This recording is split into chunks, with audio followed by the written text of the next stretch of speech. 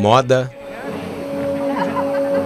estilo e tecnologia. Uma novidade em 2014, durante os desfiles de moda de Milão, foi o uso de drones. A iniciativa foi apresentada pela marca Fendi nessa quinta-feira. Enquanto as modelos atravessavam a passarela, os pequenos discos sobrevoavam e dividiam opiniões.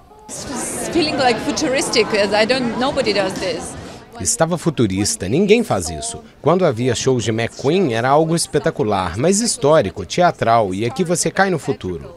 And here minimalistic and you feel future.